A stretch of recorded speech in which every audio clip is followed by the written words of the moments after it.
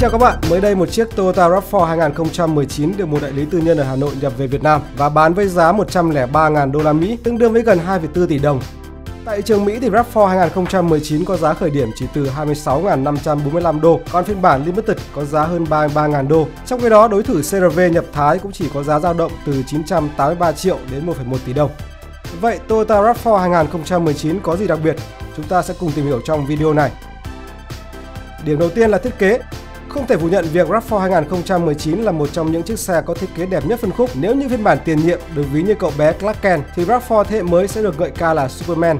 Được phát triển dựa trên nền tảng khung gầm Toyota New Global Architecture mới, nền tảng module tương tự các sản phẩm khác của Toyota như là Camry hay là Avalon, có độ cứng hơn 57% so với khung gầm cũ, đi kèm hệ thống giảm sóc linh hoạt. Chiếc RAV4 thế hệ thứ 5 sở hữu khả năng vận hành tương đương với một chiếc xe hơi hạng sang.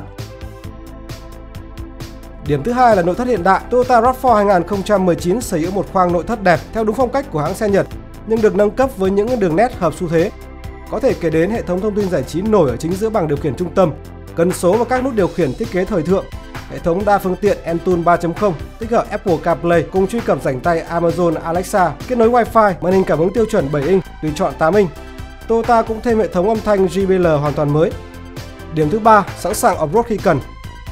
Sở hữu khoảng sáng gầm xe lên đến 218mm cùng hệ dẫn động 4 bánh RAV4 2019 dư sức băng qua những cung đường off-road một cách dễ dàng. Nghe từ trường đơn giản nhưng không phải mỗi crossover đô thị nào cũng có thể làm được. Điểm thứ tư là trang bị an toàn tận răng.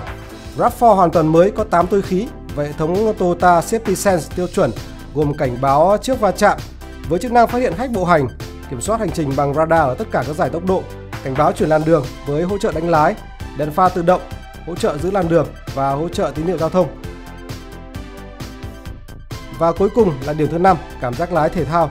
Sức mạnh của Toyota RAV4 2019 đến từ khối động cơ 2.5 lít 4 xi lanh tàng hàng đầy uy lực, sản sinh công suất 203 mã lực tại 6.600 vòng trên phút và mô xoắn cực đại 250 Nm tại 5.000 vòng trên phút.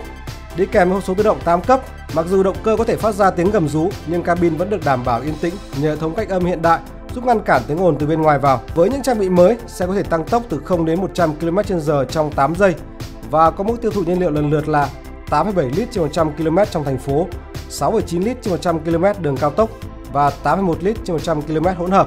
Và trên đây là những thông tin ờ, thú vị về chiếc Toyota RAV4 2019 có mức giá gần 2,4 tỷ đồng tại Việt Nam. Còn các bạn, các bạn đánh giá sao về mẫu xe này?